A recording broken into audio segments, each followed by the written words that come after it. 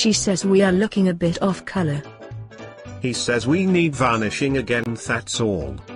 She says we are too brown looking and old fashioned. He says maybe it is time to give us a facelift. She says that is what he has been saying for years. He says in another year or two maybe after all we are only 20 years old. She says 20 years ago we were all the fashion back then but we are now out of date. He says there is nothing wrong with us that a tin of paint will not sort out. She says it's not just our color it is our arches that are past the sell by date. She says she wants us easy clean lighter with no ridges or dust traps. She says we are old and worn out. Yes worn out fancy after 20 years talking about us like that. What did he say? He said he will buy her and us a tin of paint.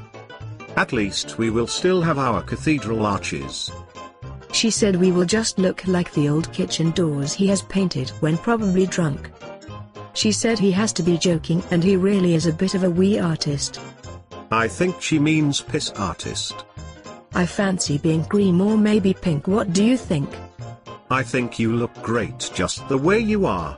Do you want to take a bath? You old smooth talking devil, yes okay but you get the daps.